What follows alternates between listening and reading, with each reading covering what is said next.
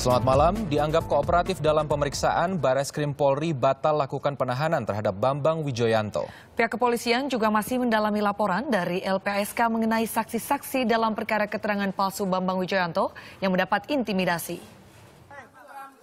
Usai menjalani pemeriksaan di Bares Krim Polri, mantan Wakil Ketua KPK Bambang Wijoyanto yang rencananya akan ditahan ternyata dibatalkan oleh penyidik Bares Krim Polri. Keputusannya diambil penyidik karena menganggap Bambang kooperatif dalam menjalani penyidikan. Alasan belum ditahan, ya sudah pemeriksaan sudah selesai. Beritanya kalau beliau nggak kooperatif itu ditahan, tapi ini kan kooperatif, jadi tidak ditahan. Pihak kepolisian juga menyampaikan mendapat laporan dari Lembaga Perlindungan Saksi dan Korban LPSK bahwa saksi-saksi yang terlibat dalam perkara yang menjerat Bambang Wijoyanto mendapat intimidasi.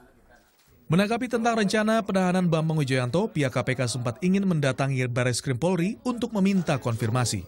Tadi pimpinan berinisiatif untuk menanyakan langsung kepada Pak Kapolri, tadi Pak Ruki sendiri yang uh, menelpon Pak Kapolri dan dapat informasi tambahan dari dari uh, Direktur Tindak Pidana khusus ya Pak Victor tadi bahwa tidak Sebelumnya, Bambang Wijoyanto ditetapkan oleh penyidik Baris Krim Polri sebagai tersangka kasus mengarahkan saksi untuk memberikan keterangan palsu dalam persidangan sengketa Pilkada Kota Waringin Barat di sidang Mahkamah Konstitusi pada tahun 2010.